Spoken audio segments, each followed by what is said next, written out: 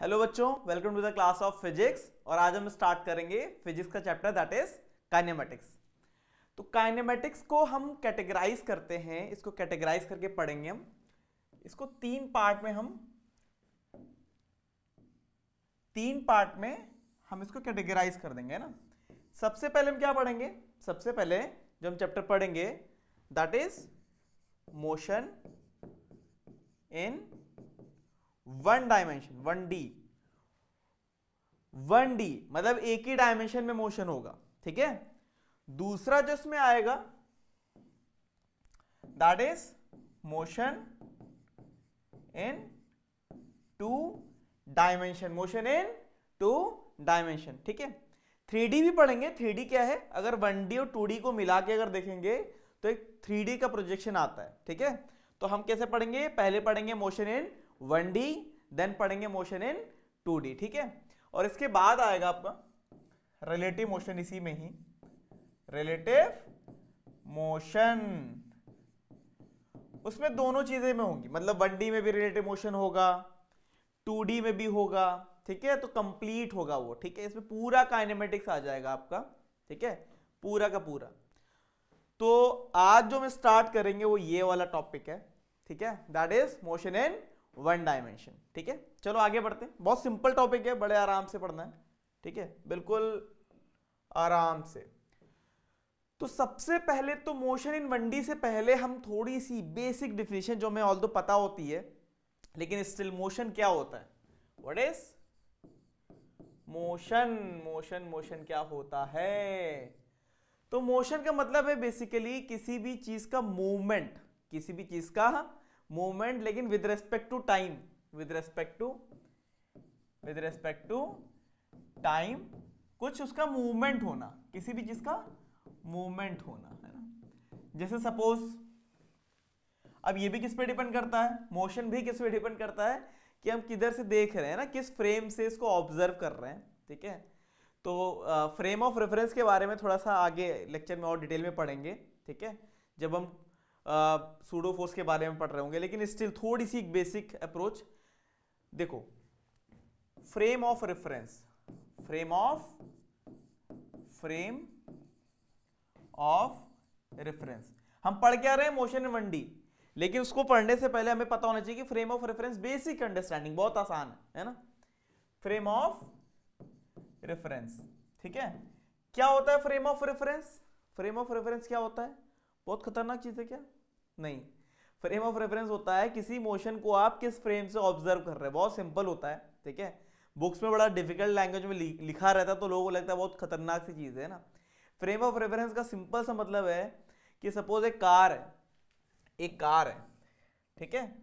Suppose एक car है car ही ऐसे कार मान लेना है, ठीक है? अगर इस कार को, इस कार को अगर मैं ग्राउंड से देखूँगा, ग्राउंड से तो मुझे मतलब ये आदमी यहाँ पे खड़ा हुआ है ग्राउंड पे, ठीक है? तो जो आदमी यहाँ पे ग्राउंड पे खड़ा हुआ है, उसको कार कितने स्पीड से चलते हुए दिखेगी? वी स्पीड से। लेकिन सपोज़ इसी के बगल में एक और कार है एक और कार है, जो खुद वी से चल रही है, दूसरी वाली कार। अगर यहाँ से कोई देखने लग जाए तो दोनों, दूसरी वाली कार हमें क्या लगेगी? स्टेशनरी लगेगी नहीं लगेगी? भाई, अगर दो बॉडी पैरेलली मोशन करती हैं तो बगल वाली बॉडी को क्या लगेगा? स्टेट ऑफ़ रेस्ट में फील होगा ना? तो जब आप यहाँ से देख रहे थे ग्राउंड से, तब द मैन वॉज़ या ground was your frame of reference जब आप इस कार से इस कार का मोशन देख रहे थे तो ये इसका फ्रेम ऑफ़ रेफरेंस बन गया। तो बड़ा सिंपल सा है फ्रेम ऑफ़ रेफरेंस का मतलब है कि देखने का आपका नज़रिया क्या है, आप कहाँ से उसको देख रहे हो, ठीक है? मोशन पढ़ते टाइम फ्रेम ऑफ़ रेफरेंस का ज़िक्र क्यों आया है? क्योंकि कोई चीज़ मोशन में है या नहीं? वो टोटली डिपेंड करती है कि उसका फ्रेम ऑफ़ रेफरेंस क्या है। यहाँ पे देखो, जैसे अगर इस कार की बात करें, जैसे ये कार ए है दिस इज़ कार बी तो ग्राउंड के रेस्पेक्ट में कार ए का मोशन है, लेकिन कार बी के रेस्पेक्ट में कार ए का मोशन कितना है? ज़ीरो है। कितना है? ज़ीरो तो मोशन भी डिपेंड करता है कि हम किस फ्रेम से देख रहे हैं। खैर फ्रेम ऑफ़ रेफरेंस के बारे में डिटेल में हम आगे भी पढ़ेंगे। यहाँ बेसिक अंडरस्टैंडिंग के फ्रेम ऑफ़ रेफरेंस होता क्या है? ठीक है? चलो। आगे बढ़ेंगे, बहुत आसान है। ठीक है? अब देखो भाई मोशन के बारे में तो हमें पता चल गया कि कुछ किसी बॉडी का या किसी ऑब्जेक्ट का कुछ मोशन होना विद रेस्पेक्ट टू टाइम ठीक है? अब वन डायमेंशन में मोशन होता कैसा है? मोशन इन वन डी जो है, वो होता कैसा है? पहली चीज़ तो हमें ये पता होना चाहिए कि तीन एक्सिस होती हैं। वेक्टर पढ़ते टाइम हमने पढ़ा था कि तीन एक्सिस होती हैं। कौन कौन सी? थ्री में ये एक्स होता है, ये वाई होता है एंड ये वाई कितना होता है? दिस इज़ जेड एक्सिस तो एक्स वाई जेड इधर भी बनेगा, इधर क्या बन जाएगा? इधर माइनस एक्स बना दो, इधर माइनस वाई बना दो and draw minus Z there है ना? तो तीनों एक्सिस को जब हम कंसीडर करेंगे तो हम किसी भी पॉइंट को लोकेट कर सकते हैं आराम से। जैसे इस पेन को अगर लोकेट करना है तो अगर मैं थ्री में करूँगा तो एक्स वाई जेड कंपोनेंट है ना? कोई एक पॉइंट को ओरिजिन मानना पड़ेगा दिस इज़ ओरिजिन ये ओरिजिन है ना? वहाँ से। तो ये तीन डायमेंशन तो थ्री का हो गया ना? हमें क्या पढ़ना है? हमें तो आज वन पढ़ना है सिर्फ़। सिर्फ़ वन पढ़ना है। तो वन का मतलब है कि किसी किसी बॉडी का motion in straight line straight line motion, बड़ी सिंपल सी डिफिनेशन है। स्ट्रेट लाइन में जो मोशन होगा, वो हमेशा वनडी मोशन होगा। सिंपल सा, जैसे, अगर कोई गाड़ी ऐसे जा रही है तो ये वनडी मोशन है। कोई गाड़ी अगर देखो, मैं एक्स वाई और बना रहा हूँ, ये वाई एक्सप्लेन हो गया। अगर मैंने ऐसे बना दिया तो स्टिल देखने में लग रहा है कि ये वाई में भी जा रहा है एक्स में जा रहा है। लेकिन स्टिल अभी भी क्या है, ये वनडी का ही मोशन है। जब भी वो लाइन बना रहेगा, वो वनडी मोशन ही रहेगा। ठीक है? हाँ लेकिन अच्छा ये वनडी है।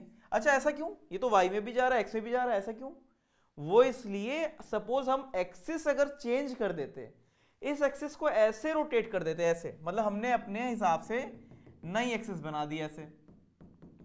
देखो वाई डैश और एक्स डैश भाई हमने कहा हम नहीं मानेंगे एक्सिस हम अपने हिसाब से एक्सिस बनाएँगे। ठीक है? तो यहाँ पे क्या हो रहा है? अब ये आ गया ना एक्स एक्सिस में, नई वाली एक्सैश एक्सिस में। इसलिए वन डी है। तो जब भी मोशन स्ट्रेट लाइन में होता है, चाहे वो आगे जाए या पीछे आए it will be considered as one D motion लेकिन लेकिन सपोज़ अगर वो ऐसा हो जाए करवी करवी हो गया तो तो ये वनडी नहीं है। तो ये वनडी नहीं है this is the two D motion क्या है टू डी ये देखो, ये वनडी हो गया लाइन वाला, ये लाइन वाला जिंदाबाद वनडी हो गया। लेकिन लास्ट वन किसमें होगा? वो टू डायमेंशनल मोशन होगा। क्या होगा? It will be a two dimensional motion बहुत आसान है है ना? मतलब ये देख लो कहीं पे भी कि कहीं पे भी स्ट्रेट लाइन मोशन होगा तो that will be a one D motion है ना? मतलब वन डायमेंशनल मोशन हो गया। तो मोशन के बारे में बेसिक बेसिक पता चल गया कि वन डी मोशन होता क्या है, ठीक है? अब थोड़े इसके टर्म्स देख लेते हैं क्या क्या देखेंगे यहाँ पे। तो सबसे पहले तो सबसे पहले तो यहाँ पे देखो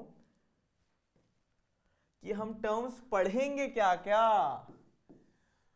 तो देखो, सबसे पहले तो हम पढ़ेंगे भाई डिस्प्लेसमेंट क्या होता है व्हाट इज़ डिस्प्लेसमेंट टेंथ में पढ़ते हैं, लेकिन मान लेते हैं, नहीं पढ़ा, कोई बात नहीं नहीं पढ़ा। बिल्कुल बेसिक से स्टार्ट करेंगे और बिल्कुल ऐसा करेंगे कि एक एक क्वेश्चन हमारा आराम से हो जाए, ठीक है? डिस्प्लेसमेंट एंड डिस्टेंस अगर नहीं भी आता है पहले से, तब भी कोई बात नहीं, ठीक है? सेकेंड वन डिस्प्लेसमेंट डिस्टेंस हो गया। वेलोसिटी वेलोसिटी एंड स्पीड है ना? और लास्ट वन आता है अपना, शूशा एक्सेलरेशन है ना? भाई एक्सेलरेशन नहीं तो स्पीड नहीं स्पीड नहीं तो डिस्प्लेसमेंट नहीं डिस्प्लेसमेंट नहीं तो कुछ भी नहीं, है ना? तो आराम से आएगा। एक एक करके हम पढ़ेंगे कि पहले डिस्प्लेसमेंट डिस्टेंस क्या होता है, फिर वेलोसिटी स्पीड और एक्सेलरेशन क्या होता है, पूरा डिटेल में। एवरेज वेलोसिटी क्या होती है इंस्टेनियस क्या होती है एवरीथिंग है ना? सब कुछ मिलेगा। चलो स्टार्ट करते हैं, पहला क्या आता है, देखें भाई displacement and distance displacement and distance तो इसमें हमेशा कुछ कुछ बच्चों को डाउट रहता है है ना? तो पूरा डाउट आज यहाँ पे क्लियर कर लेना। बड़ा आसान सा टर्म होता है ना? बहुत आसान सा टर्म जैसे सपोज़ देखो, क्या होता है डिस्प्लेसमेंट और क्या होता है डिस्टेंस ये एक ए पॉइंट है। This is point B this is point B ये ए पॉइंट है, ये बी पॉइंट है। ठीक है? अगर आपको ए से बी जाना है ए से बी जाना है, और आपके पास एरोप्लेन है, क्या है एरोप्लेन तो शॉर्टेस्ट पाथ कौन सा होगा ए से बी यही वाला होगा। दिस वन और पता चला रोड बनी हुई है आड़ी टेढ़ी इस तरीके से, ऐसे से घूमते हुए, ऐसे गए। तो ये पाथ कौन सा हो गया? लंबा चौड़ा पाथ हो गया। तो जो शॉर्टेस्ट पाथ है, जो एरोप्लेन ले सकता है ना? शॉर्टेस्ट यही तो हो सकता है ना? इसको कहते हैं इसको क्या कहते हैं? डिस्प्लेसमेंट क्या बोलते हैं? डिस्प्लेसमेंट और साफ़ साफ़ है, इसका डायरेक्शन भी है। ए से बी जा रहा है बस ये। कहाँ जा रहा है? ए से बी जा रहा है। एरो बना लेंगे ना, आराम से तीर छोड़ा, सीधे कहाँ जाएगा? बी पे लैंड करेगा। ठीक है? लेकिन ए से बी जो ये पूरा ऐसे पूरा घूम के गया है, इसको बोलते हैं डिस्टेंस क्या बोलेंगे? डिस्टेंस तो यहाँ से कभी नहीं भूलोगे देखो, अगर ए से बी ऐसे गए तुम, है ना, इस तरीके से गए। कार स्टार्ट करी, कार का स्पीडोमीटर ने पूरा एक मीटर रीडिंग करी कि भाई मैं जल, यहाँ से चला गया 12 किलोमीटर, सीधे जाता तो जाता कितना? 8 किलोमीटर। भाई सीधे हमेशा डिस्टेंस कमी होगी ना। लेंथ जो आएगी ए बी वाली, ऐसे सीधे जाते तो इस पास से तो कमी आएगा ना। तो यहाँ पे साफ़ साफ़ दिख रहा है। अगर मैं डिस्प्लेसमेंट को एक्स दिखाता हूँ, क्या दिखाता हूँ? एक्स और डिस्टेंस को मैं एस दिखाऊँ। तो यहाँ से साफ़ साफ़ दिख रहा है कि एस जो है, वो हमेशा बड़ा होगा x से। एक कंडीशन में सेम आ सकता है। जब वो ए भी पे ही चले, सिर्फ़ ए भी पे ही चले तो डिस्टेंस भी वही आएगा और डिस्प्लेसमेंट भी वही आएगा। अदरवाइज़ हमेशा जो डिस्टेंस है, वो डिस्प्लेसमेंट से ज़्यादा ही होगा या उसके बराबर हो सकता है। इन ओनली वन केस जब एक ही ट्रैक हो उसका, ना, वो सीधे लाइन पे चल रहा है तो। अब थोड़ा और डिटेल में देखते हैं डिस्टेंस और डिस्प्लेसमेंट क्या है ना? एक एग्ज़ाम्पल मैं और दे रहा हूँ समझने के लिए। यहाँ पे तो समझ में आ गया ना ए से बी जा रहा है।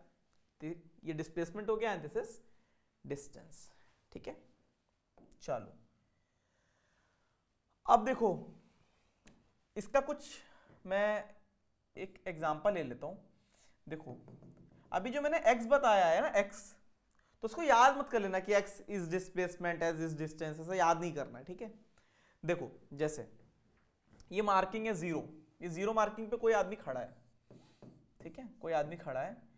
ये मान लेते हैं कुछ आठ मीटर आगे जाता है। एट मीटर आगे जाता है। ठीक है? फिर यहाँ से यू टर्न लेता है। और पीछे चार मीटर आता है। कितना? Four metre back side eight metre front में आगे गया, है ना? और वहाँ से पलट के वापस आया और चार मीटर पीछे गया, कहाँ से? ओरिजिनल पॉइंट से। तो देखो, ये ओरिजिनल पॉइंट मतलब इसको ज़ीरो मान सकते हैं तो यहाँ का एक्स जो होगा एक्स इनिशियल क्या होगा? एक्स इनिशियल उसको ले लो ज़ीरो क्या ले लो? ज़ीरो ले लो। ठीक है सिंपल है ना? इनिशियल है। अब देखो, वापस कहाँ पे आया? माइनस फोर पे आया। तो एक्स फाइनल कितना है? माइनस फोर सिंपल है। लेकिन अब ये बताओ मुझे, ये आगे गया, पीछे आया चलो, खत्म। लेकिन डिस्प्लेसमेंट कितना हुआ? डिस्प्लेसमेंट तो एक्चुअल में इतना ही हुआ ना। डिस्प्लेसमेंट क्या होता है? डिस्प्लेसमेंट होता है इनिशियल और फाइनल पॉइंट के बीच में सेपरेशन ठीक है? और कुछ नहीं। घूम के पूरी दुनिया के चक्कर ही क्यों ना काट के आ जाए? लेकिन माना यही जाएगा कि डिस्प्लेसमेंट इनिशियल और फाइनल पॉइंट का सेपरेशन है। जैसे, कार उठाई या बाइक उठाई घर से। घर से निकाली मार्केट गए, घूम फिर के आ गए। तो डिस्प्लेसमेंट कितना होगा? डिस्प्लेसमेंट कितना होगा? ज़ीरो होगा, क्योंकि जिस पॉइंट से स्टार्ट किया था, वहाँ पे वापस आ गया तो डिस्प्लेसमेंट हो गया ज़ीरो ठीक है? और डिस्टेंस कितना होगा? जो बाइक का स्पीडोमीटर दिखाता है ना, वो दैट इज़ द डिस्टेंस वो थोड़ी ना ज़ीरो हो जाता घर गए, घर से कहीं और आ गए, फिर वापस इनिशियल पॉइंट पे आए तो ज़ीरो थोड़ी ना होता है। तो यहाँ पे डिस्प्लेसमेंट साफ़ साफ़ दिख रहा है। कितना? डेल्टा एक्स कितना आएगा? फाइनल माइनस इनिशियल, कितना फाइनल कितना? माइनस फोर, और इनिशियल कितना है? ज़ीरो। तो कितना है? Minus four. अब एक चीज़ बताओ, माइनस फोर डिस्प्लेसमेंट का मतलब क्या है? माइनस फोर का मतलब क्या है? देखो, डिस्प्लेसमेंट कभी निगेटिव नहीं होता है। निगेटिव नहीं होता है। माइनस फोर ये बताता है कि आपका फोर डिस्प्लेसमेंट हुआ, और कहाँ पे हुआ? बैक साइड हुआ। कहाँ पे हुआ? माइनस आई एक्सेस में हुआ, है ना? तो ये माइनस साइन वो बताता है, ठीक है? तो यहाँ पे लिख लेना डिस्प्लेसमेंट क्या होता है? कांट बी नेगेटिव है ना? वो नेगेटिव नहीं होता, लेकिन नेगेटिव साइन क्या शो करता है? साइन शोस क्या? डायरेक्शन ओनली डायरेक्शन बताता है सिर्फ़ ये। अगर पॉजिटिव होता पॉजिटिव होता मतलब कि आगे गया नेगेटिव है दैट मीन वो पीछे आया ठीक है? अब देखो डिस्टेंस की बात कर लेते हैं डिस्टेंस डिस्टेंस की बात करते हैं जरा। तो बेचारा आगे आठ मीटर गया। चलो, ठीक है। वापस आठ मीटर आया, ठीक है? वापस फिर वो आठ मीटर आया। तो बेचारा आठ मीटर और चला और चार मीटर और पीछे गया। तो एस टोटल कितना हो गया? सिक्सटीन प्लस देखो भाई, कितना हुआ? ट्वेंटी आ गया क्या? Twenty metre. देख रहे हो? डिस्प्लेसमेंट आ रहा है फोर और डिस्टेंस कितना आ रहा है ट्वेंटी आ रहा है तो बहुत फ़र्क होता है, ठीक है? अगर स्ट्रेट लाइन मोशन नहीं है तो डिस्टेंस हमेशा ज़्यादा आता है, ठीक है? तो दिस इज़ द डिस्टेंस है ना? ये डिस्टेंस हो गया और बाकी ये सब तो लोगों ने निकाल लिया डिस्प्लेसमेंट तो बिल्कुल सिंपल है कि डिस्प्लेसमेंट क्या होता है? दो पॉइंट के बीच में सेपरेशन जो हो सकता है। डिस्टेंस क्या होता है? पूरा जो पूरा चक्कर काट गया था उसका पूरा लेंथ होता है, ठीक है? तो that's about distance and displacement अब इनके बारे में थोड़ा डिटेल में देखते हैं। देखो, आराम से। बहुत सिंपल सा है। ठीक है?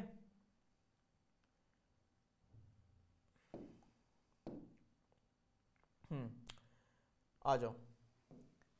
इनके बारे में डिटेल में ये देखते हैं कि वेक्टर क्या होता है। अच्छा यहाँ पे साफ़ साफ़ दिख गया डिस्प्लेसमेंट क्या है? डिस्प्लेसमेंट इज़ वेक्टर और डिस्टेंस क्या है? वो स्केलर क्योंकि उसमें मैग्नेट्यूड है ना सिर्फ़। उसको उससे मतलब थोड़ी ना तुम किस डायरेक्शन में गए। उसको सिर्फ़ इससे मतलब है कि रीडिंग कितनी दिखा रहा है। रीडिंग कितनी दिखा रहा है, ठीक है? तो देखो डिस्प्लेसमेंट क्या हो गया? साफ़ साफ़ है है ना? शॉर्टेस्ट ये क्या है? शॉर्टेस्ट पॉसिबल है ना? शॉर्टेस्ट पॉसिबल पाथ होता है, ठीक है? तो साफ़ साफ़ पता चल गया। डिस्टेंस क्या होता है? Total length total length covered. जितना बाइक और कार के मीटर ने रीड किया दैट इज़ द टोटल जितना रीडिंग दिखाएगा, है ना? सिंपल सा। अब एक और चीज़ इसमें क्या है? अभी साफ़ साफ़ देखा, ये वेक्टर होता है। वेक्टर क्यों होता है? इसका एक डायरेक्शन होता है। वेक्टर के ऊपर हमेशा क्या बना देना है? एक एरो बना देना है। ठीक है? ये क्या होता है? ये स्केलर होता है। अच्छा वेक्टर के बारे में लोगों ने पहले ही पढ़ा है कि कोई चीज़ अगर वेक्टर है, कोई अगर वेक्टर है तो उसमें दो चीज़ें होती हैं। एक मैग्नीट्यूड होता है और एक यूनिट वेक्टर डायरेक्शन देता है। स्केलर में सिर्फ़ और सिर्फ़ मैग्नीट्यूड होता है। क्या होता है? सिर्फ़ और सिर्फ़ मैग्नीट्यूड होता है ना? पीछे पड़ा हुआ है वेक्टर स्केलर जब लोगों ने पढ़ा था तब का। अब एक और चीज़ जो यहाँ पे निकाली थी हम लोगों ने क्या? अच्छा डेल्टा एक्स समझ गए ना? डेल्टा एक्स मतलब क्यों निकालते हैं? X F minus X I इसी तरीके से डेल्टा एक्स भी वही रहता है, ठीक है? डेल्टा का मतलब होता है चेंज। डेल्टा का मतलब क्या होता है? डेल्टा का मतलब ही होता है चेंज। जो भी चेंज होगा, ठीक है? जो भी चेंज होगा, उसको डेल्टा से डिनोट करते हैं। डेल्टा मतलब थोड़ा बड़ा चेंज और छोटा डिफरेंशियल चेंज क्या होता है? डिफरेंशियल, जो उसमें पढ़ा था मैथमेटिकल टूल में डिफरेंशियल मतलब बहुत छोटा, बहुत ही ज़्यादा छोटा, है ना? तो अभी हम लोगों ने साफ़ साफ़ देख लिया कि डेल्टा एक्स इज़ ऑलवेज क्या? लेस देन और इक्वल टू डेल्टा एस, है ना? पीछे देखा था। बहुत आराम से। अच्छा इसको मेजर किसमें करेंगे? मेजर लेंथ को मेजर किसमें करते हैं? लेंथ को मेजर किसमें करते हैं? मीटर में, किसमें? मीटर में, है ना? तो इसको मीटर में ही डिनोट करेंगे हम लोग, है ना? मीटर्स ठीक है? मीटर्स में इसको मेज़रमेंट किया जाता है। चाहे वो डिस्प्लेसमेंट हो, चाहे डिस्टेंस हो, जो भी लेंथ होगी it will be measured in metres ठीक है? अगला नेक्स्ट चलो। हम्म। एक क्वेश्चन उठा लेते हैं। आया हुआ क्वेश्चन है एग्ज़ाम का। देखो क्या है। मैं इसको रीड कर देता हूँ आपके लिए, ठीक है? Find the distance and displacement of a particle travelling from one point to another point से from point A to B in a given path path देखो यहाँ पे दिया हुआ है। वो पाथ क्या है? ऑब्जेक्ट ए से ऊपर गया टेन मीटर यहाँ से आगे गया फिफ्टी मीटर और यहाँ से नीचे आया फोर्टी मीटर फिर फिफ्टी फाइव और आगे गया, फिर वापस ऊपर बी पे चला गया। तो इसमें पूछा गया है कि what is distance and displacement बड़ा आसान है, देखते हैं। इसी में ड्रॉ कर लेते हैं थोड़ा सा। तो ये बताओ, ये टेन मीटर आगे गया फिफ्टी इधर गया तो यहाँ पे आएगा तो ये भी तो टेन ही होगा ना? ये भी टेन मीटर ही तो होगा। और ये फोर्टी नीचे गया, इसका मतलब यहाँ से कितना नीचे गया होगा? भाई, ये टेन हो गया, ये टोटल फोर्टी है। तो थर्टी मीटर हुआ ना? थर्टी मीटर ये फिफ्टी फाइव हो गया तो again this is thirty metre तो पहली चीज़ इसने पूछी है कि फाइंड द डिस्टेंस जो इच्छा करे वो पहले निकाल सकते हैं। जो भी इच्छा करे, अपनी श्रद्धा पे है है ना? इट डिपेंड्स ऑन मूड कि पहले डिस्टेंस निकालना डिस्प्लेसमेंट उससे कोई फ़र्क नहीं पड़ता। तो पहले क्या करते हैं? डिस्प्लेसमेंट निकाल लो। तो ये बताओ डिस्प्लेसमेंट में कितना हुआ? भाई, पहले ये चला पहले क्या चला? पहले इतना चला, फिर इतना 55 और चला, यही तो है। भाई यहाँ गया और फिर यहाँ से यहाँ गया। मतलब डिस्प्लेसमेंट क्या होगा? शॉर्टेस्ट ना? तो डेल्टा एक्स कितना आएगा? डेल्टा एक्स साफ़ साफ़ दिख रहा है। Delta X is equal to fifty plus fifty five is equal to one zero five metre अब डेल्टा एस या डिस्टेंस की बात करें तो टेन चला। कितना चला? टेन चला। फिर कितना चला? फिफ्टी और चला। फिर फोर्टी और चला। फिर फिफ्टी फाइव और चला। और फिर बेचारा थर्टी और चला। कितना हो गया? सिक्सटी, हंड्रेड हंड्रेड और हम्म one eighty five if I am correct am I correct yes I am correct ठीक है? तो बहुत आसान है सिंपल है। यहाँ पे भी साफ़ साफ़ दिख रहा है। जब भी पात आड़ा टेढ़ा होगा या स्ट्रेट लाइन मोशन नहीं होगा डिस्टेंस हमेशा ज़्यादा ही आएगी। ठीक है? बहुत सिंपल है। आगे बढ़े। ठीक है।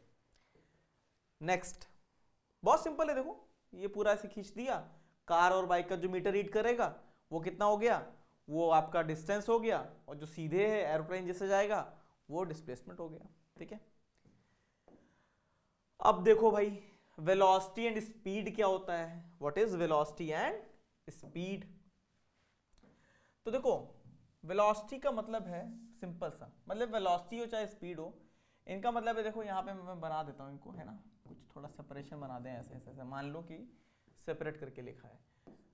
तो पहली चीज़ ये क्या होता है? Rate rate of change of displacement with respect to time किसका रेट है? टाइम के साथ. है ना? With respect to time time के साथ ही तो होगा. स्पीड बढ़ती तो क्या होता है? आपका डिस्प्लेसमेंट बढ़ता है ना? या लेंथ बढ़ती है ना? ये क्या हो जाएगा?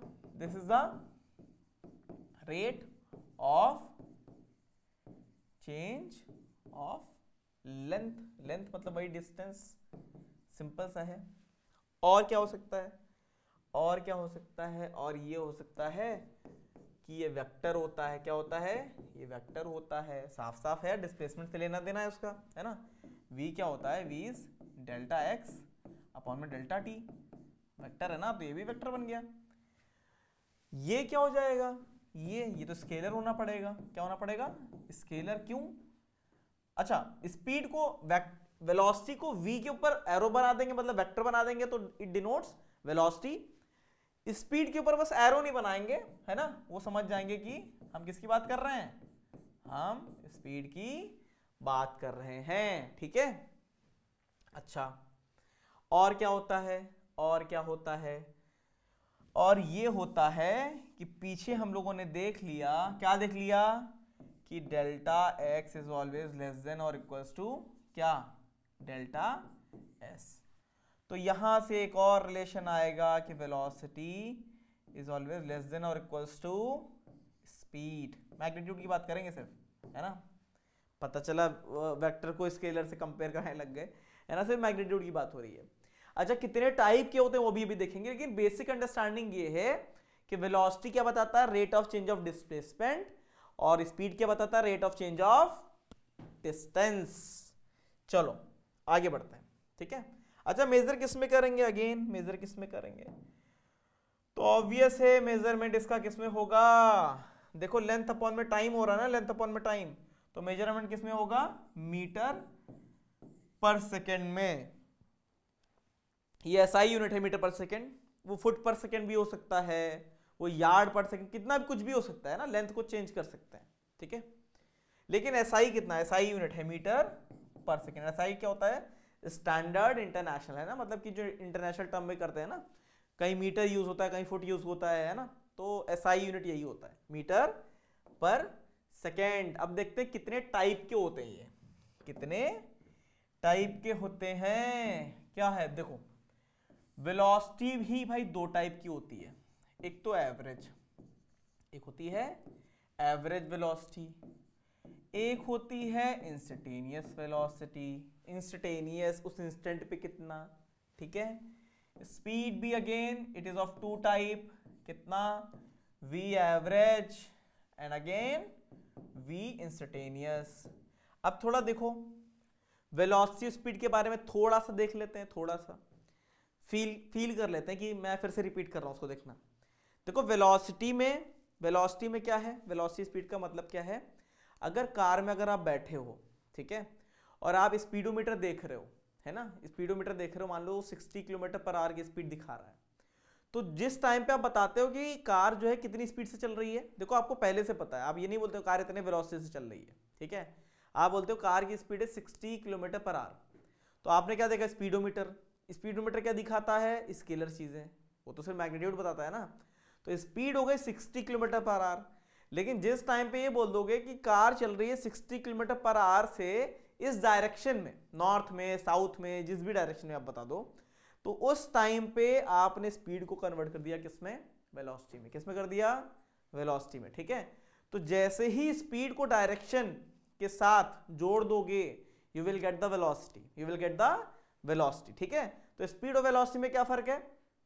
स्पीड में सिर्फ़ मैग्नीट्यूड होता है और वेलोसिटी में अगर हम क्या स्पीड में अगर हम डायरेक्शन और देते हैं you will get the velocity ठीक है? टर्म आसान है ना?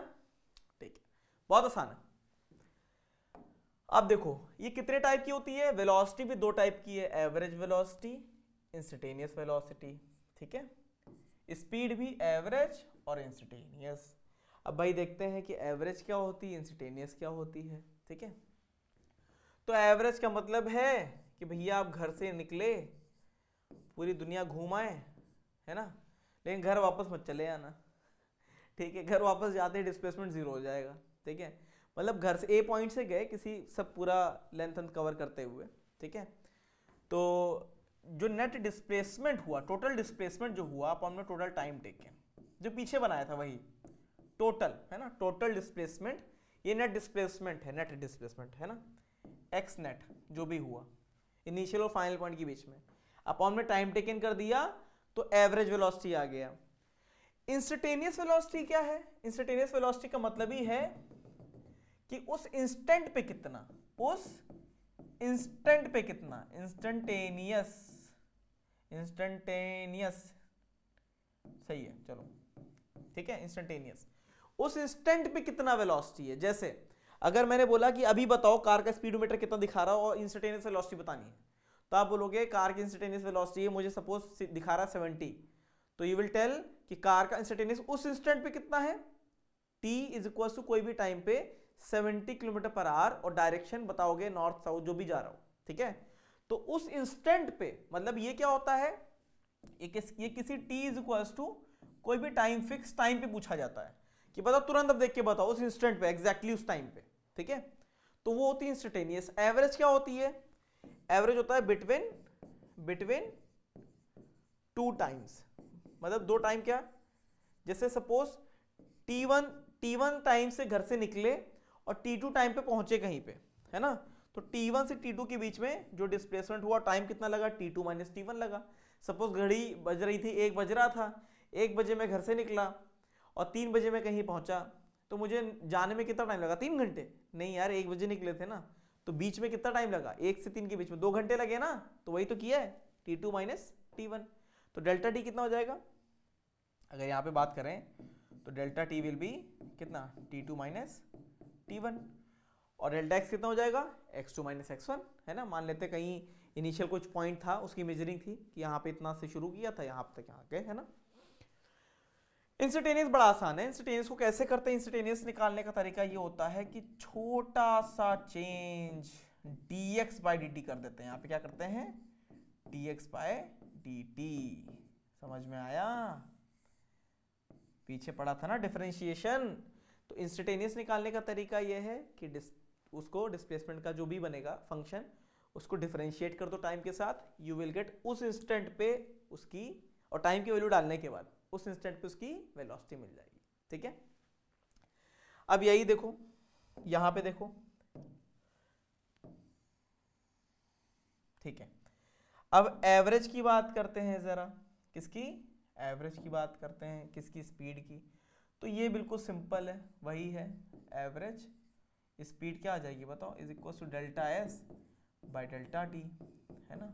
वही वही तरीका है बिल्कुल। और साफ़ साफ़ यहाँ दिख भी रहा है, क्या? अगर ये अच्छा पूछा जाएगा वेलोसिटी एवरेज उनके बीच में रिलेशन तो साफ़ साफ़ दिख जाएगा, देखो, यहाँ पे दिखता है। भाई डेल्टा एक्स का मैग्नीट्यूड डेल्टा से क्या था, छोटा था या उसके बराबर हो सकता है? तो सेम वही इनइक्वलिटी लगा दोगे तो क्या हो जाएगा? यू विल गेट ये। वी एवरेज वेलोसिटी एवरेज का magnitude is always less than और इक्वल्स टू स्पीड एवरेज का मैग्नीट्यूड है ना? सिंपल सा। वही पीछे वाली चल रही है इनइक्वलिटी कुछ अलग नहीं है, ठीक है? लेकिन पंगा यहाँ फंसेगा तुम्हारा इंस्टेटेनियस में। इंस्टेटेनियस में देखो क्या होता है। व्हाट इज़ इंस्टेटेनियस इंस्टेटेनियस कहता है कि उस इंस्टेंट पे बताओ, उस इंस्टेंट पे। तो उस इंस्टेंट पे, जैसे अगर मैंने बोला था कि कार की स्पीड बताओ देख के और वेलोसिटी बताओ तो आपने क्या बताया था? कार की स्पीड अभी 70 किलोमीटर पर आ रहा है। लेकिन इस इंस्टेंट पे वो नॉर्थ में जा रही है। तो ये बताओ, उस इंस्टेंट पे स्पीड और वेलोसिटी का मैग्नीट्यूड तो 70 था। तो इसका मतलब साफ़ साफ़ दिखता है कि वी इंस्टेटेनियस मतलब कि वेलोसिटी इंस्टेटेनियस और स्पीड इंस्टेटेनियस इनका मैग्नीट्यूड क्या होगा? सेम होगा, क्योंकि उसी इंस्टेंट की बात हो रही है ना। खैर, लिखते कैसे हैं? इसको भी वही लिखते हैं instantaneous is equal to d s by d t क्या कर देंगे इसे? D s by d t तो साफ़ साफ़ पता चल गया, अगर इंस्टेटेनियस वेलोसिटी की बात करें it is always equal to instantaneous speed का मैग्नीट्यूड सेम आएगा, क्या आएगा? सेम आएगा, ठीक है? चलो, इतना बड़ा क्लियरली समझ में आ जाता है। ठीक है? बहुत आराम समझ में आता है वेलोसिटी क्या है? स्पीड क्या है? एवरेज क्या है? इंस्टेटेनियस क्या है? ठीक है? पूरा क्लैरिटी के साथ पूरा डाइजेस्ट होता है, ठीक है? आई होप समझ में आ रहा होगा। नेक्स्ट एक क्वेश्चन उठाते हैं। बड़े आराम से क्वेश्चन उठाते हैं। जॉगर रन देखो पढ़ते हैं क्वेश्चन को पहले आराम से। Jogger runs his first hundred metre at four metre per second and second hundred metre at two metre per second in the same direction what is the average velocity what is the average velocity तो देखो ए से start किया उसने B पे गया। B से सी पे गया। ए से बी, पहले 100 मीटर, पहले 100 मीटर, बी से सी, दूसरे 100 मीटर। ठीक है। तो A से B पहले 100 मीटर वो कितने स्पीड से चला? 4 metre per second. 4 metre per second. B से C वो कितने स्पीड से चला? 2 मीटर पर सेकेंड। तो एवरेज कैसे निकालेंगे? 4 प्लस टू बाई टू। ये नहीं करना है ना, गलत अप्रोच बिल्कुल नहीं लगानी है, ठीक है? ये बताओ, यहाँ पे चलने में टाइम उसे कितना लगा होगा टी वन हंड्रेड अपॉन में फोर डिस्टेंस अपॉन में स्पीड ठीक है? कितना हो जाएगा? शायद ट्वेंटी फाइव सेकेंड्स और बी से सी जाने में शायद टी टू कितना लग गया? देखो fifty metre sorry fifty metre नहीं फिफ्टी सेकेंड्स तो कितना आया एवरेज एवरेज कितना आया? एवरेज आया total length hundred plus hundred upon में total time t one plus t two कितना हो गया? टू हंड्रेड अपॉन में twenty five plus fifty seventy five है ना? ट्वेंटी फाइव थ्री जा और ये कितना हो जाएगा? एट है ना? तो सही है। कितना आ गया? Eight by three metre per second is your average velocity eight by three is your average velocity ठीक है? चलो सिंपल है, बहुत आसान है है ना? अब देखो, अगले पेज पे मैं तुम्हें ऐसे नोट करा दे रहा हूँ, इसको नोट कर लो, है ना? इसको एज ए क्वेश्चन नहीं, इसको as a theory part note कर लो। अगर सेम ऐसा डायरेक्शन में जा रहा है तो डिस्प्लेसमेंट डिस्टेंस सब सेम आता है ना? चलो सपोज़ ए से बी गया सी गया डी गया। ए से बी चला एल वन बी से सी देखो बी से सी चला एल टू फिर ये एल थ्री कितना चला? एल थ्री तो सिंपल से याद कर लेना, अगर ए से बी टाइम लगा है टी वन बी से सी टाइम लगा है टी टू सी से डी टाइम लगा है टी थ्री तो एवरेज हमेशा क्या आएगा? एवरेज ये इंश्योर कर लेना कि पीछे नहीं जा रहा है, नहीं तो डिस्टेंस और डिस्प्लेसमेंट में फ़र्क आ जाएगा। ठीक है? तो एवरेज क्या आएगा? अच्छा मैं कुछ लिख नहीं रहा हूँ यहाँ पे। एवरेज वेलोसिटी या एवरेज स्पीड क्योंकि अगर डिस्प्लेसमेंट और डिस्टेंस सेम होगा तो तो सेम आएँगे ना। सिंपल सा लिख लो। L1 plus L two plus L three ये डेफिनेशन याद रखोगे, कभी भी गलत नहीं होगा। कुछ भी गेसिंग करोगे कि कुछ स्पीड का सम करके आधा कर देते हैं, है ना? तो ऐसा कुछ नहीं होने वाला। ठीक है? गलत हो जाएगा। ठीक है? तो बिल्कुल बेसिक डिफिनीशन है। इसी पे डिफ़िकल्ट से डिफ़िकल्ट क्वेश्चन आराम से हो जाता है। डिफिनेशन याद रखना है कि यही होता है ना, ठीक है? अपना और कुछ गेस नहीं है हमारा, है ना? पूरा समझ में आता है। कुछ डिफ़िकल्ट भी नहीं आता, आराम से आ जाता है ना। अगला देखते हैं, अगला और शायद आज का last topic topic last question अभी है, ठीक है? एक्सेलरेशन क्या है? एक्सेलरेशन तो व्हाट इज़ एक्सेलरेशन एक्सेलरेशन होता है, देखो सब रेट है, आगे बढ़ रहे हैं धीरे धीरे वेलोसिटी बताता है rate of change of displacement with respect to time acceleration बताएगा rate of change of velocity with respect to time इसके बाद एक और टर्म आता है जर्क आता है जर्क उसका ज़्यादा यूज़ नहीं होता है, लेकिन स्टिल आता है मतलब कि टर्म पता होना चाहिए कि जर्क क्या होता है. लेकिन उसका कहीं पे भी मेंशनिंग नहीं पड़ोगे कि जर्क का कुछ क्वेश्चन आ जाए, है ना? स्टिल हमें पता होना चाहिए ना. ये होता है, वो जर्क क्या होता है? वो होता है rate of change of acceleration जो गाड़ी में जाते हो ना गाड़ी में जो झटके लगते हैं ना गेयर डाला, फिर ब्रेक मार दी बार बार एक्सेलरेशन का चेंज होना, ठीक है? तो rate of rate of change of velocity speed नहीं वेलोसिटी क्या ये वेक्टर होता है? हाँ ये वेक्टर होता है। ये स्केलर क्वांटिटी नहीं होती है it is a vector quantity ठीक है? एक्सेलरेशन भी दो टाइप के होते हैं, ठीक है? अच्छा अब ये बताओ, अगर मान लो स्पीड चेंज अच्छा वेलोसिटी चेंज होगी तो स्पीड ज़रूर चेंज होगी श्योर है, क्योंकि देखो वेलोसिटी ऐसा क्या श्योर है, बताओ, पक्का? वेलोसिटी चेंज होगी तो स्पीड चेंज होगी। अच्छा स्पीड चेंज होगी तो वेलोसिटी चेंज होगी। ठीक है, चलो, फिर से देख लो। वेलोसिटी में दो कंपोनेंट होते हैं। वेलोसिटी में एक होता है मैग्नीट्यूड और एक होता है उसका डायरेक्शन लेकिन स्पीड में एक ही चीज़ होती है मैग्नीट्यूड तो ये तो श्योर है, ये स्पीड देखो स्पीड स्पीड चेंज हुई तो मैग्नीट्यूड चेंज हुआ मैग्नीट्यूड चेंज हुआ तो वेलोसिटी चेंज होना तो तय है, पक्का. लेकिन वेलोसिटी दो वजह से चेंज हो सकती है, या तो उसका मैग्नीट्यूड चेंज हो, या उसका डायरेक्शन चेंज हो. डायरेक्शन चेंज होने से स्पीड पे कोई फ़र्क नहीं पड़ता, लेकिन मैग्नीट्यूड चेंज होने से वेलोसिटी पे फ़र्क पड़ता है. तो इसका मतलब है कि स्पीड अगर चेंज होगी तो वेलोसिटी ज़रूर चेंज होगी। लेकिन वेलोसिटी चेंज हो, इसलिए स्पीड का चेंज होना ऐसा कोई ज़रूरी नहीं है। आगे पढ़ते जाओगे धीरे धीरे पढ़ते जाओगे, ऐसा कौन सा केस होता है, ऐसा कौन सा केस होता है। तो देखो, स्पीड चेंज करेगी तो वेलोसिटी भी चेंज करेगी, पक्का चेंज करेगी, श्योर शॉर्ट चेंज करेगी। लेकिन अगर वेलोसिटी चेंज करेगी, अगर यहाँ पे लिख लेते हैं, ऐसे बट बट बट इफ़ यहीं पे लिख देते हैं, आराम से if velocity changes velocity changes, then speed may not change may not change का मे का मतलब वही है मे और मे नॉट हो जाएगा, है ना? कैसा, ऐसा कैसा? ऐसा कैसे हो सकता है? तो देखो, एक केस में बताता हूँ। आराम से समझना यहाँ पे, ठीक है? सर्कुलर मोशन अभी बताएँगे एक्सेलरेशन भी क्या होता है, पूरा डिटेल में बताएँगे। अभी तो ये बताते हैं कि वेलोसिटी के चेंज होने से स्पीड पे क्या फ़र्क पड़ता है? स्पीड के चेंज होने से वेलोसिटी पे क्या फ़र्क पड़ता है? तो देखो सर्कुलर मोशन में अगर मान लो यूनिफॉर्म सर्कुलर मोशन है ये बॉब को तुम घुमा रहे हो, वो वी स्पीड से ही चल रहा है। क्या है? वी स्पीड से ही चल रहा है। उसकी स्पीड चेंज नहीं हो रही है हर पॉइंट पे। गोल गोल घूम रहा है ना? ऐसे ऐसे। ठीक है वी से। ऐसे। तो देखो स्पीड सेम है। ऐसे गोल गोल घूम रहा है। है ना? गोल गोल ऐसे घूम रहा है। तो हर पॉइंट पे स्पीड सेम है।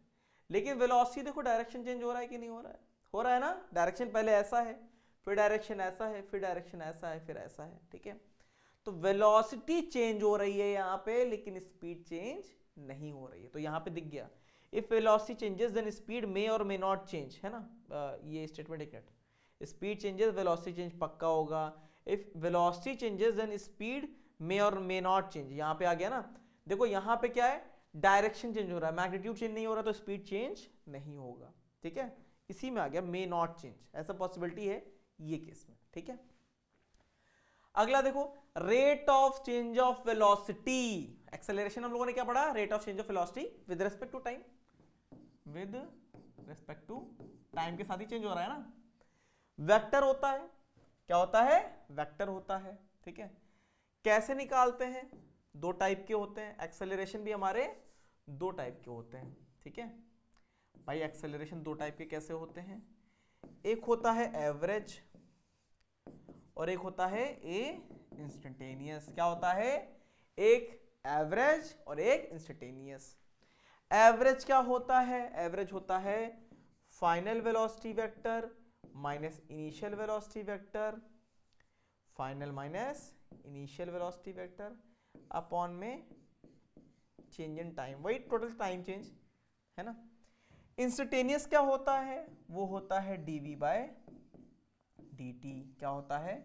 डीवी बाय डीटी दोनों मतलब वेक्टर बना देना।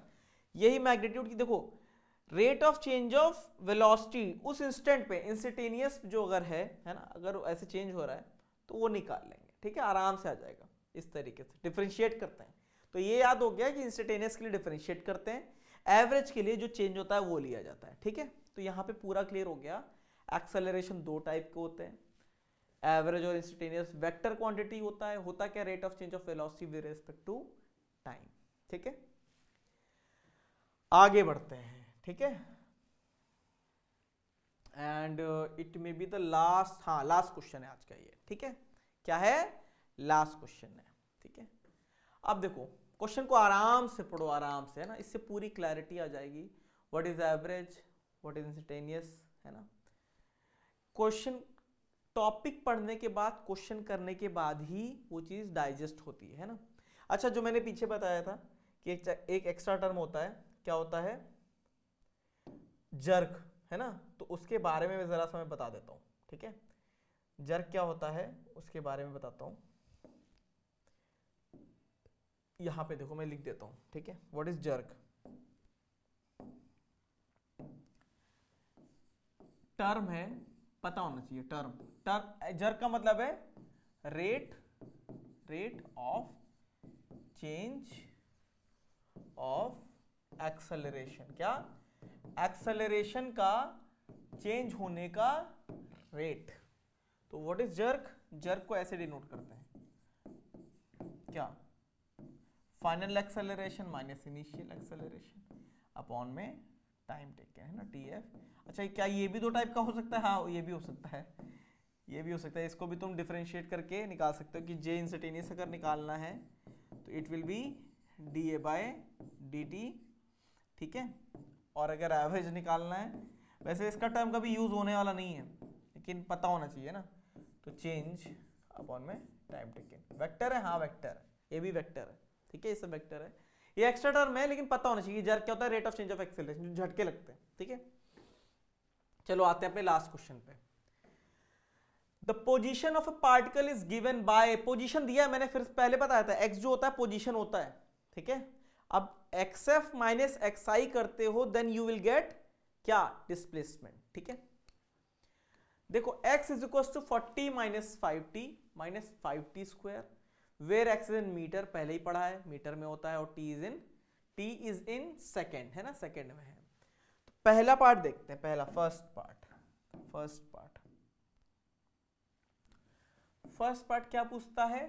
Find average velocity between one second and two second. तो कैसे निकालोगे? First find position at two second. तो पोजीशन टू सेकेंड पे कितना आएगा? 40 माइनस फाइव, और टी की वैल्यू कितनी डाल देंगे? टू डाल देंगे।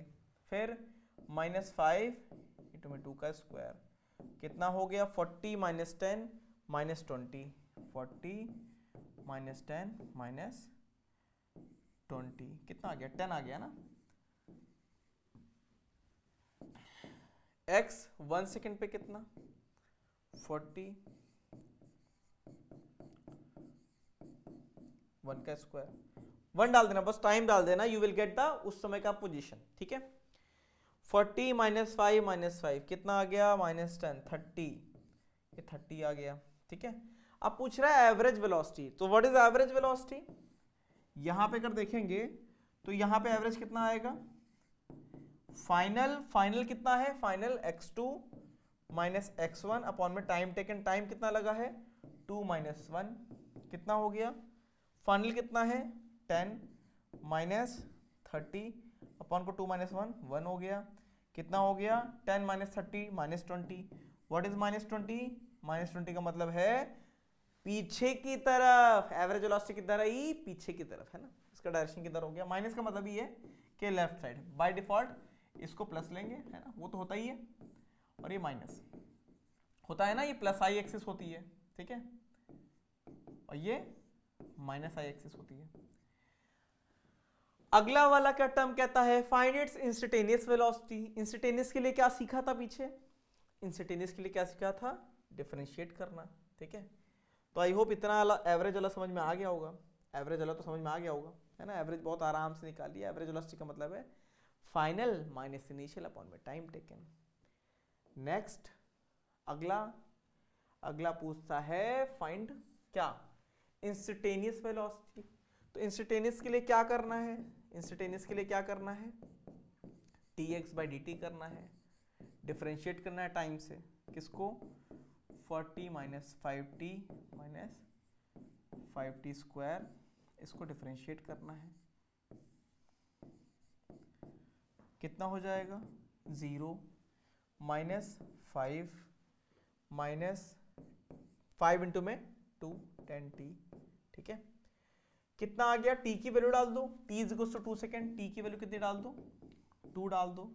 You will get minus five minus twenty तो माइनस ट्वेंटी फाइव आता है। Minus twenty five metre per second उस इंस्टेंट पे, देखो, फिर से डिफ्रेंशिएट करके देखते हैं। क्रॉस चेक कर लो। फोर्टी का ज़ीरो हो गया माइनस फाइव हो गया और माइनस टेन टी हो गया। माइनस फाइव और माइनस टेन टी इसमें टी की वैल्यू कितनी डाली है? Two twenty minus twenty five बिल्कुल सही। ठीक है? तो इंस्टेंटेनियस वेलोसिटी भी आ गई। ये तो कर ही चुके हैं। अब पूछ रहा है फाइंड इट्स एवरेज एक्सेलरेशन तो सबसे पहले देखो, इस, ये क्वेश्चन बहुत इजी है। इसको एक बार डिफरेंशिएट करोगे you will get the term of velocity कितना? Minus five minus ten t इसको एक और बार डिफरेंट वी को डिफरेंशिएट करोगे यू विल गेट एक्सेलरेशन इसको डिफरेंशिएट करोगे यू विल गेट एक्सेलरेशन कितना? माइनस फाइव का तो ज़ीरो हो जाएगा और माइनस ट्वेंटी का माइनस टेन हो जाएगा। तो साथ साथ दिख रहा है एक्सेलरेशन कांस्टेंट आ रहा है। कितना आ रहा है? कांस्टेंट आ रहा है। तो अगर कांस्टेंट आ रहा है तो एवरेज भी वही रहेगा इंस्टेटेनियस भी वही रहेगा। चाहो तो निकाल लो कैसे? वेलोसिटी की वैल्यू वेलोसिटी का तो टर्म पता चल गया ना। वी का टर्म पता चल गया इतना। तो वी एट टू निकाल लो। वी एट टू कितना? Five minus ten t two value डाल दो। तो माइनस ट्वेंटी फाइव ठीक है? और वी वन निकाल लो। कितना? Five minus ten t one डाला। कितना? माइनस फाइव तो एवरेज एक्सेलरेशन अगर निकालते हैं ए एवरेज जिसकी बात कर रहा है थर्ड में बिटवीन वन एंड टू तो कितना होता? फाइनल माइनस इनिशियल मतलब ये ऐसे आता है ना। V two minus v i upon में टाइम कितना? वी आई अपॉन में टाइम कितना? Two minus one v two कितना? V two v two v two minus twenty five minus minus minus minus minus twenty five minus minus five upon में time taken कितना? One कितना आ गया? देखो ध्यान से. Find average acceleration between final velocity and initial कितना आता है? ट्वेंटी हाँ ठीक है. बिल्कुल सही. देख लो इसको, है ना? तो इंस्टेटेनियस का यहाँ पे टर्म देखो यहाँ पे कितना गया? Minus five minus twenty value डालो। वी टू कितना? Five minus twenty two p twenty डाला, है ना? तो ये कुछ सही कर लेना, इसको फिफ्टीन आएगा ये। ठीक है? It will be minus fifteen है ना? ये कितना हो जाएगा? माइनस ट्वेंटी ऑफ़ फाइव तो माइनस फिफ्टीन आ गया। ठीक है? ये कितना आ जाएगा? वन डालोगे you will get minus five है ना? तो एवरेज एक्सेलरेशन उसको सही कर लेना। कैल कुछ कैलकुलेशन का पार्ट था। V2 two minus v upon का two minus one it is v2 v2 कितना? What is v2 minus fifteen minus minus plus upon का two minus one you will get ten कितना? माइनस का। Metre पर second square ठीक है? Metre पर second square तो एवरेज भी वही आएगा। इंस्टेटेनियस तो हम लोगों ने देख ही लिया। इंस्टेटेनियस भी टेन ही आएगा। तो कांस्टेंट वैल्यू में बार बार ट्राई करने की ज़रूरत नहीं है, यहाँ पे लोगों ने आराम से देख लिया कैसी चीज़ें आती हैं। तो इतने इस क्वेश्चन से ये क्लियर हो गया कि what is instantaneous what is average किस तरीके से निकालना है। एक बार घर जाके इस पर क्वेश्चन सॉल्व कर लेना, दोबारा कभी भूलोगे नहीं इसको, है ना? मतलब कि कुछ दोबारा पढ़ने की ज़रूरत नहीं, हल्का सा रिवीजन करना है, ठीक है? कंसेप्ट को पढ़ना क्वेश्चन करना, पूरा अच्छे से डाइजेस्ट हो जाएगा। तो this is all about today's lecture ठीक है? Bye bye and take care अगले लेक्चर में मिलेंगे नए टॉपिक के साथ. सी यू